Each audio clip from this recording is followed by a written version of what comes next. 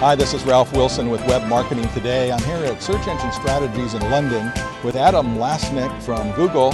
And uh, today, Adam, uh, we're talking a little bit about geo-targeting, but not the kind that people usually think of. They think of pay-per-click and geo-targeting, but Google is offering some, some help for people that have websites in several languages, like many people in Europe here do. So, uh, what kind of geo-targeting can you do there to help uh, get better rankings, that sort of yeah. thing? I think uh, you raised a, a, good distinction that this is definitely on the search side of things and not ads, although uh, Google lets you do geo-targeting on both sections.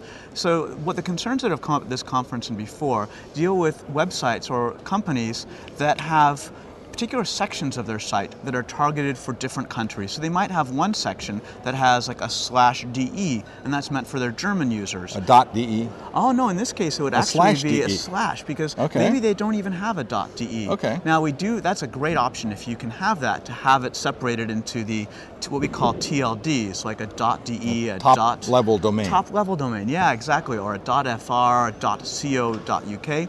Those are a great way to say this content is English or French or German. Okay. But there are some companies where, for whatever reason, they have a ton of content and they've actually put it as subdirectories. So they have theircompany.com slash German or slash French. Mm-hmm. And So the issue here really is how can we tell the search engine what language content this is? I mean, that's really what we're ah, getting at. It's isn't it? actually a combination both of language and also market. So, for instance, if you have a particular chain of supermarkets, but that particular brand is only in Germany, Okay. you want to reach the folks that are in Germany. So, mm-hmm. with you, you raised the interesting point about language, and for that, we actually do a pretty good job detecting if the page is in German, we know, we know that that's going to be the language. The question then becomes the region targeting. I see. So one of the ways, uh, we actually have a couple of different ways that people can help us show their pages to the best markets. One of the methods is using our geo-targeting tool within our uh, Webmaster Tools. And that's a free service they can sign up for. It's at uh, google.com slash webmasters. And they go to the section that is uh, for geo-targeting and they say, okay, this, these particular sections are for this country, and, and these particular sections are for a different country. And you can make an unlimited number, of, as huge a list as you want. And like all the things we have with our tools, we don't guarantee instant results from this, mm-hmm. but we do take it as a strong hint. Okay. Because of course we want to show the stuff that's most, the pages that are most appropriate for the market, just like the companies do.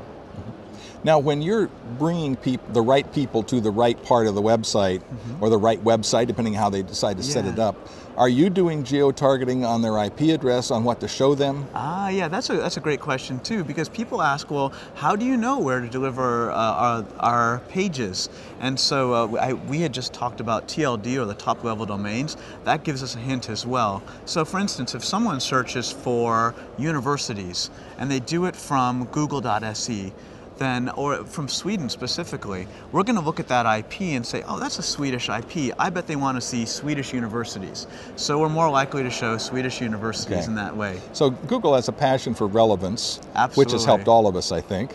And so this is one way you do it by uh, Yeah. uh, what area they're from, looking at that as well as other clues. Yeah, exactly.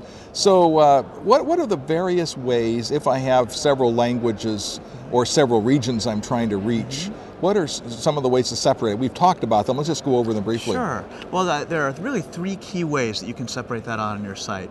The one we talked about first was the TLDs, and that would involve taking yoursite.de and putting the German content there, or yoursite.no and putting the Norwegian contents.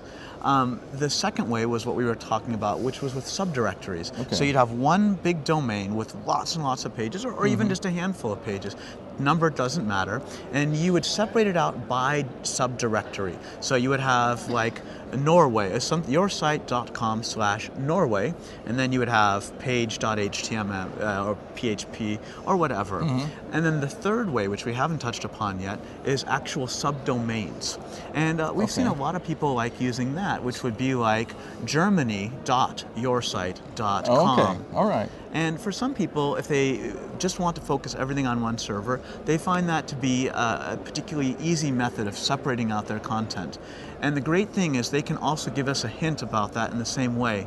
We may not just telling from the word Germany, we may not know just from that that it's content meant for the meant for their German users. But if they go into our webmaster tools and say, okay, see Italian.mysite.com, please uh, give priority on those pages to the Italian users, people that are searching from Italy.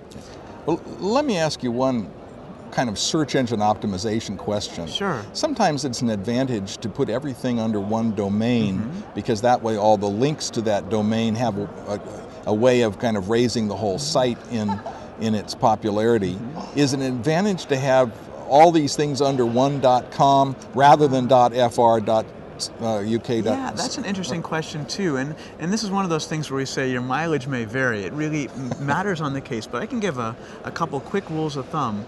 If you actually have content that is sufficiently distinct, you have. Uh, a different set of markets in Germany than you have in France, or you have different instructions, you have different warranty addresses, and so on. Mm -hmm that content really merits, uh, in many cases, different sites because it's in different language and has different content.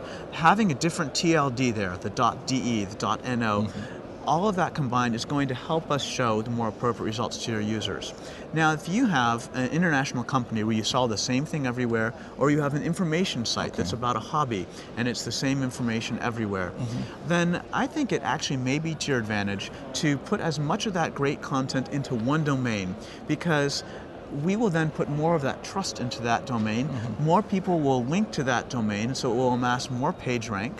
And Oftentimes it's just easier than managing a whole lot of different domains. You sound like a consultant. It all depends. I know. well, thank you, Adam, for sure. taking time to share with us. Uh, tell me what you do, Adam, and uh, about your company. Yeah, sure. Well, I work on the search side of Google. You have my, a great title. What's your oh, title? Oh, yeah. My, my, title is Search Evangelist, which uh, in some ways is cool because it signifies that I go out to, to conferences like this one and then even to smaller venues like arts and crafts fairs, to schools and so on, where I can help people understand about best practices both for their users and for Google.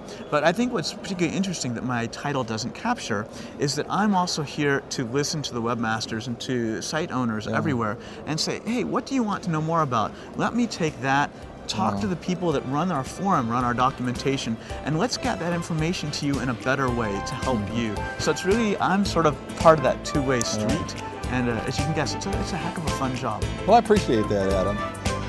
Thanks for sharing with us. This is Ralph Wilson at Search Engine Strategies in London with Web Marketing Today.